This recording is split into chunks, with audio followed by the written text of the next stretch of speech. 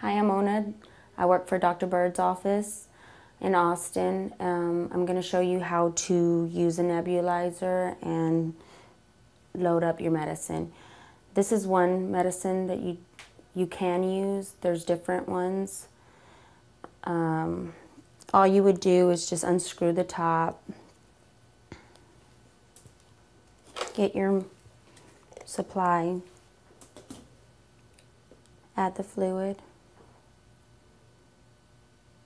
There's different measurements, so whatever your doctor has prescribed to you, it could be a little more than this.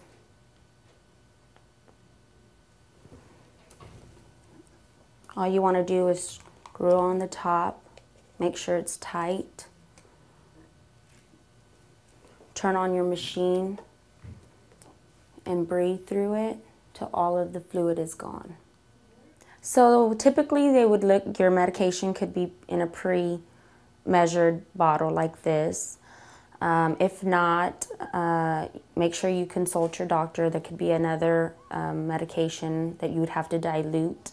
But if you do um, have that one, make sure you ask your doctor how to use that one properly.